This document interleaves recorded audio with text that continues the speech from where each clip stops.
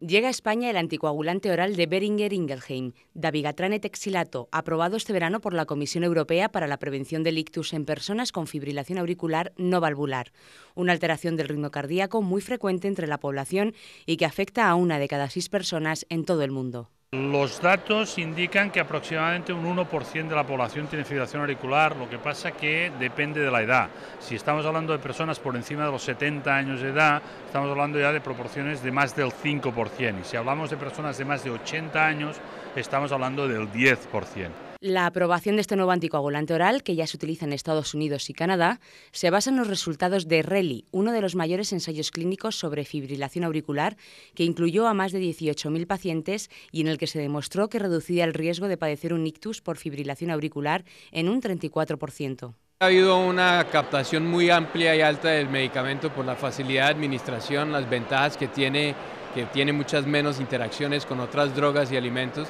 los pacientes están muy ah, contentos con este tipo de droga porque no tienen que hacerse exámenes de sangre y analítica mensualmente para ver si están en el rango apropiado con el medicamento. Entonces ha habido un gran entusiasmo tanto en Canadá como en Estados Unidos con esta nueva droga. La fibrilación auricular afecta a casi 70 millones de personas en todo el mundo y multiplica por 5 el riesgo de padecer un ictus, siendo estos más graves, con una mayor probabilidad de muerte y discapacidad. Los ictus de la fibrilación auricular son más graves, son ictus que probablemente se provocan en arterias más importantes del cerebro porque son coágulos más importantes y que finalmente acaban teniendo eh, consecuencias más negativas que el ictus de otras causas. El tratamiento de referencia hasta ahora, aunque eficaz, precisa de un control periódico e interacciona con algunos alimentos y fármacos, limitaciones que no presenta dabigatran texilato, según las previsiones de los expertos, lo que resulta más beneficioso en